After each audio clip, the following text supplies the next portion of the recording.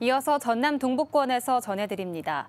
여순 사건 특별법 제정 1주년을 기념하는 행사가 순천에서 열렸습니다.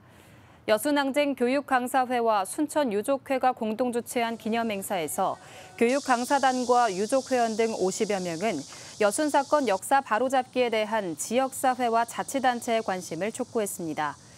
이들은 특별법 제정 1주년이 됐지만 실질적인 피해 신고는 2천여 건에 불과하다며 적극적인 피해 사례 발굴과 조사를 위한 지원과 관심을 당부했습니다. 5,000톤급 다목적 대형 방제선 엔다모가 취항해 여수에서 기념 행사가 열렸습니다. 엔다모는 총 톤수 5,566톤의 전장 104m, 폭 20.6m, 깊이 8.3m 규모로 방제 작업과 항로 준설 작업, 장애물 수거, 화재 선박 진화와 긴급 예인 기능을 갖췄습니다.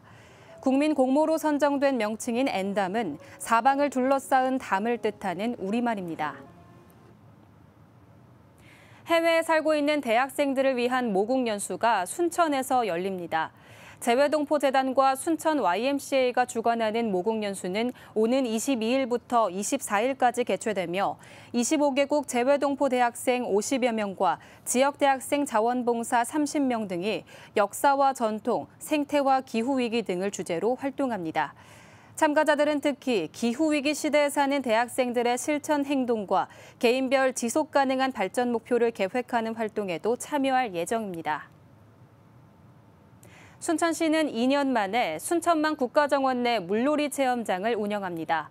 다음 달 말까지 매주 화요일부터 일요일까지 운영되는 국가정원 물놀이 체험장은 바닥 분수와 터널 분수, 워터건 등을 갖추고 있습니다.